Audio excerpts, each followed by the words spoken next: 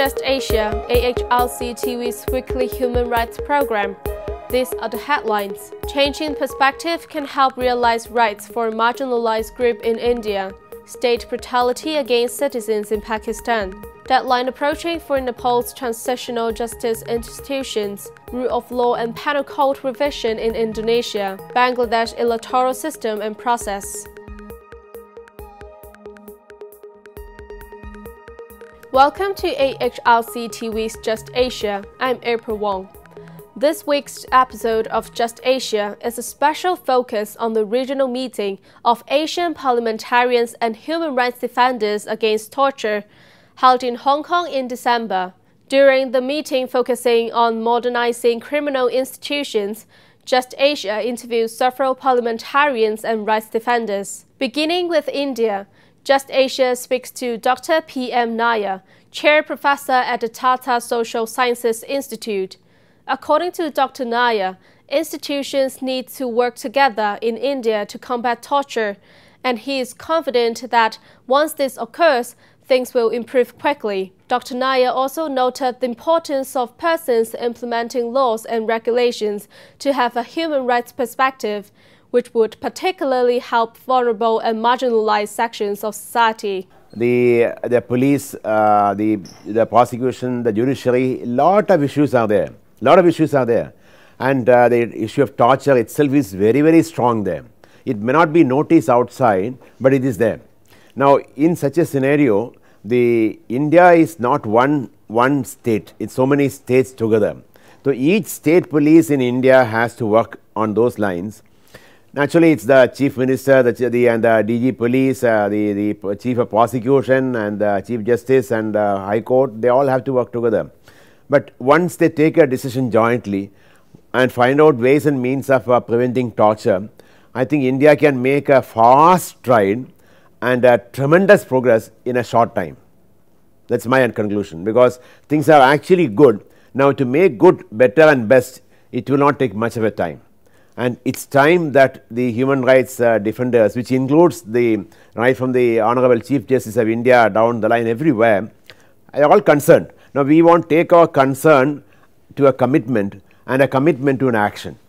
I think that will happen. This has to happen and I am sure it will happen. The major issue which is in the entire Asian context and, and India specifically, there are a lot of uh, uh, underprivileged sections of society the scheduled castes, the scheduled tribes, the backward castes, the minorities. And if you see them and other communities and see how each one gets the benefit of rule of law, there is that certainly a wide discrepancy. So, when you have such strong human rights defenders in a nation like India, the point is why such underprivileged sections are still being deprived of their own rights. So, obviously, there is a gap. The gap lies not only not in the system, the rules and rules and uh, constitution and provisions are all very good. The, it is the mind of the person concerned. The person who is implementing that person also has to see from the human rights paradigm. When a, when a, when a person from the minority com community or when a person from the backward section or when a person is handicapped, that person is a, a, a person needs special care and attention. So, unless we give that special care and attention, we will not be able to take justice forward. So, in such cases wherever we have a underprivileged group whichever nomenclature including women and children the, the, the just, justice defenders means police, prosecutors, judiciary, activists all of them have to take not only one step forward, but two steps forward. If you take that two steps forward it is within the law I am not saying go beyond the law, but within the law two steps forward I think we can make a tremendous impact that is what is required and these steps lie in the mind of the person. Once the mind says, okay, I am here, let me get the justice delivered, nothing stops, that is what is required. Next, Pakistan has been topping all the indices of human rights abuse in 2016. The establishment of military courts and worrisome rise in execution has brought to the forefront state brutalities against citizens. Many of those hanged had been tortured into confessing. Just Asia interviews Pakistani member of National Assembly Imran Zafar Laghari to learn his views on the rising incidents of torture and corruption in the policing and judicial systems. Well, in my opinion, the justice of the that is providing to the people of Pakistan, it's not the real justice. We should work on it and to provide to the people of Pakistan. It needs to be legislate. It's need to it's need to be checked. It needs to be. I mean, a system should be on a judiciary system as well. We need a check and balance, which is lacking in our country, and the parliament should have to play a role on it, and the parliament should have come forward to implement those laws where the judiciary can be checked and balanced as well because in the history we have seen a lot. We have seen the judicial murderers, we have seen the missing person cases, we have seen the misleading, the corruption cases, we have seen the we have seen the wrong suo motu actions. So we have to work as a parliamentarian, as a Parliament of Pakistan, we have to work strong on that and make some new laws to check on the judiciary so they can provide the pure justice to the people of Pakistan. 2013 was the first fair, uh, elections where the democracy was transferred to the democratic government. Before that, there was always an army intervention between the Pakistan. Democracy, to strengthen democracy, Parliament has to play a very key role in it. As the history, if we go round and uh, go back and we see the history of Pakistan, we have seen the too many military intervention in Pakistan that had weakened the parliament that had weakened the par parliamentary system of Pakistan, that had weakened the political system of Pakistan. But now it's uh, it's been eight years. We are going in a, another general elections, inshallah, in 2018, and I think so. Three more tenure more of the democracy, then the parliament will be strengthened and the democ- then the real democracy you can see in Pakistan. Right now, it's like uh, I don't want to criticize. I'm the opposition. I don't want to criticize the government, but right now the the minister who's heading the department on interior minister federal. I mean, he's he's brutal himself. I don't, I don't, I'm not, uh, I'm, I'm not saying about him, but it is the fact. It is need to be sorted out from the federal, then it will transfer to the to the provinces because the 18th Amendment and whatever what happened in 2000 before the last five years in in Pakistan People's Party government, we have strengthened the province, provinces. We have given them powers to strength, but the policy which makes which will go around the country should be the federation policy. And i think so the police system should have we have we can hire the psychologists doctors and these kind of brutal interrogation is a, not a solution. Interrogation is a, not a solution. Interrogation for me if you do the interrogation with me i will say yeah i was thief. If that was a famous you know famous joke about a cow and elephant roaming around in a jungle and they say oh i'm a cow because the police is coming you know we need to sort it out we need to provide them a justice, we need to provide them a legal system, we need to provide them a psychologist, we need to provide them at least every human is a, not a criminal. No human born as a criminal. The society, its surroundings make him criminal. So every human has a capability to change anytime. So we can work on it. We have, we can provide education to them. We can provide doctors to them.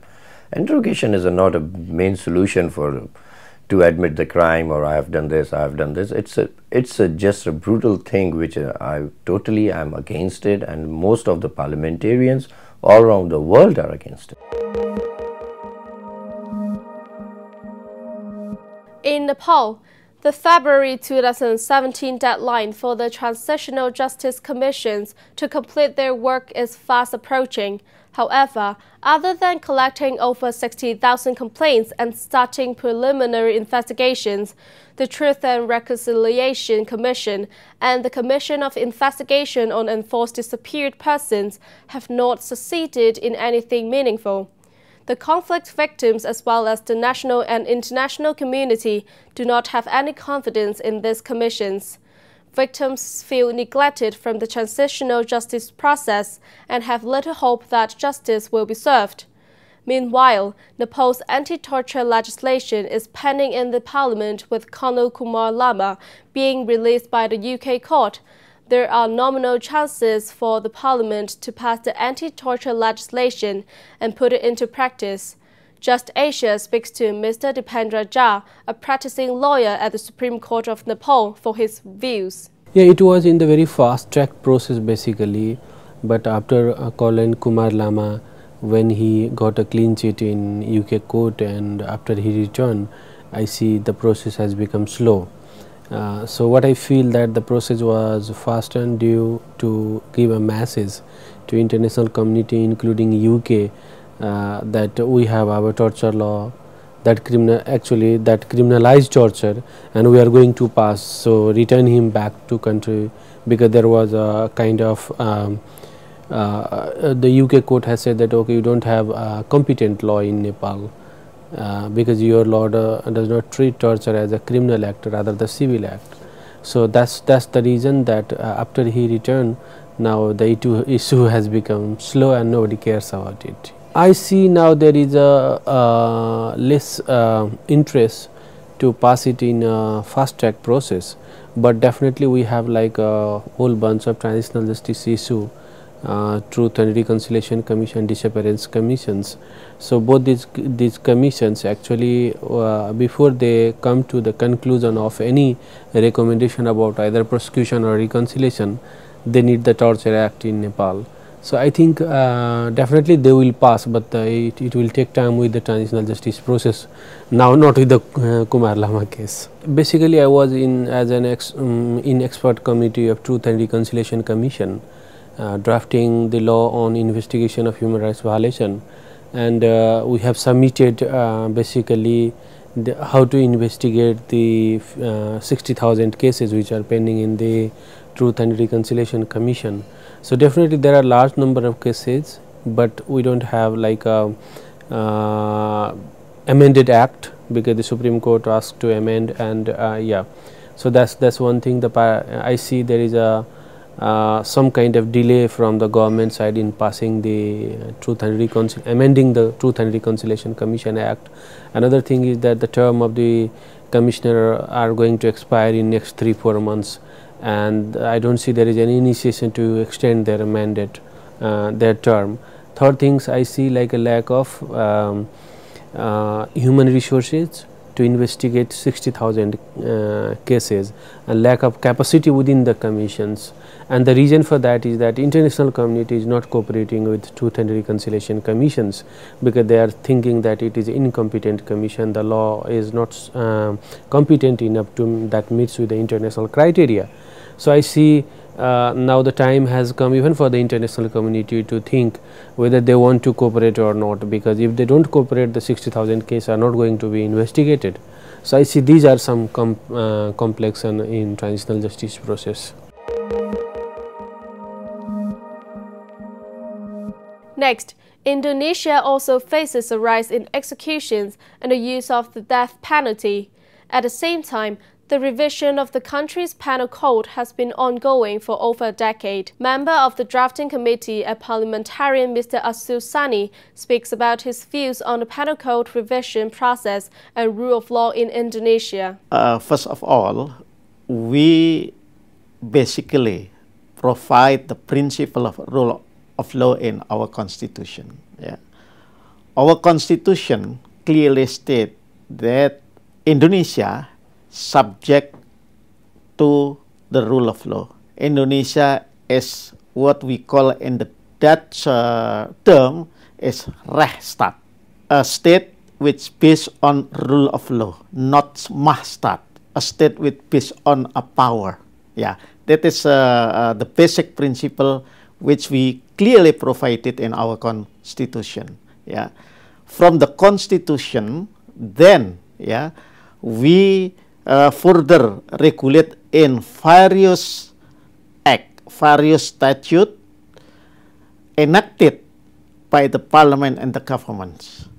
For example, we uh, then regulate the uh, further principle of law and its operation uh, of the principle in the Judiciary Act, yeah, in the Police Act, in the uh, prosecutor acts, yeah, and few other uh, act or statute. First, uh, I can explain that until today, our penal code is uh, inherited yeah, from the Dutch colonial era, yeah, with uh, uh, various law uh, added after Indonesia got its independence. Yeah, in the sitting term, in the current sitting term of uh, uh, Indonesian parliaments, yeah, we then with the governments agree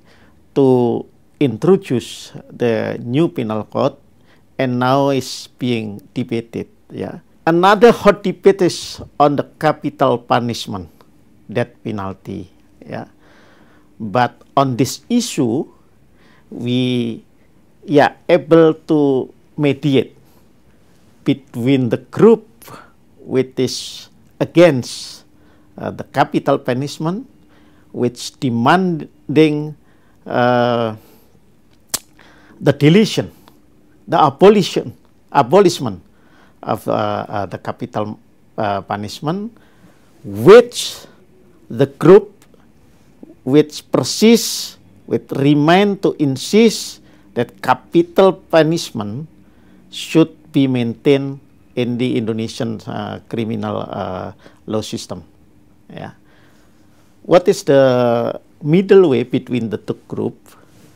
We agree principally to maintain the provision on the capital punishment as a kind of criminal punishment, but if someone then uh, being judged with a final and binding court judgment, yeah, with uh, capital punishment,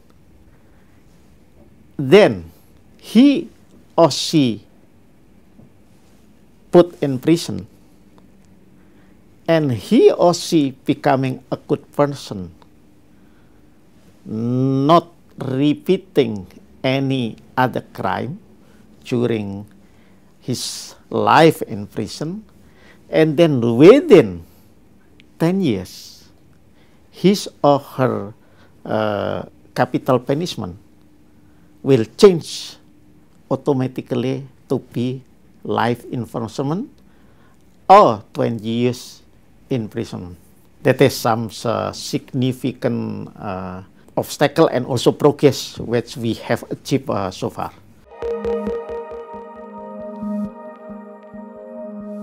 Bangladesh has been considerable violence and political manipulation in the last year.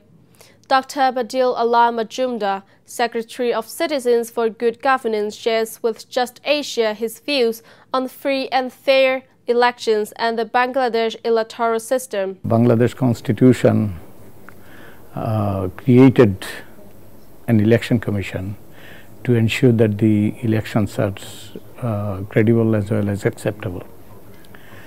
And unfortunately, the, the system of election that has evolved, uh, especially in the last few years, uh, especially during this present election commission, under the present election commission, uh, the uh, is not credible and is not acceptable. So, if we look at the elections, uh, especially since uh, the beginning of 2014, the beginning with uh, our ninth parliament, our 10th parliament elections and followed by Upazila election which is sub-district level uh, local government, uh, followed by uh, city corporation elections, union parishad election which is the lowest level of local government and uh, and Paurasabha election, municipal elections. And all of these elections were not credible. The election commission has not been fair, the election commission has not been neutral and people complained they didn't pay attention to those and in fact recently uh, the uh, they had to uh, the court uh, at one point intervened uh, in some cases uh, when people complained and election um, commission didn't pay any attention. They went to the court, and court asked the election commission to uh, look into the matter, and the election commission didn't do that. And finally, court, the high court, uh, asked the election commission, all the election commissioners, to go to the high court and apologize, and uh, to the to the court and this was quite a humiliating experience. And in fact after that uh, it say it speaks a volume about the about the neutrality and competence and the ability of this this commission. In fact after after such humiliating experience uh, they have no right to stay in, in the positions they have been holding. There is a connection. There is a strong connection. Unfortunately since the government came with one side came to power with one side election without a mandate, without the consent of the people. And uh, so it, to stay in power, uh, they need to use force basically. They need to use, uh, they need to uh, use uh, means which are which are not consistent the human rights uh, covenants and human rights uh, the uh, what we expect in a in a in an in a society in an environment uh, they are not consistent with uh, the uh, people's protecting human rights. So since the government has no mandate they had to use force and that necessarily led to human rights violations, excesses and uh, and manipulating the system and various ways of various ways of intimidating people. And uh, in other ways uh, making sure that people don't speak up, people don't protest, people uh, people's rights are uh, taken away, the uh, some of the fundamental rights are taken away. And unfortunately, all our institutions have eroded. Uh, the our constitutional institution, our uh, statutory institutions, and even uh, non-state institutions uh, such as uh, civil society is in is under serious pressure, serious threat. Justice institutions, if we talk about the uh, the judiciary, higher judiciary, lower judiciary, lower judiciary there is widespread accusations of corruption and manipulations and influencing uh, judgments. You can buy judgments. There are there are uh, there are allegations. Higher judiciary there are accusations and and uh, most serious thing that happened to the higher judiciary is the partisan appointments. That is all for the episode of Just Asia. For more on this and other issues, please visit www.humanrights.asia or www.alrc.asia slash justasia. Thank you for watching and see you next week.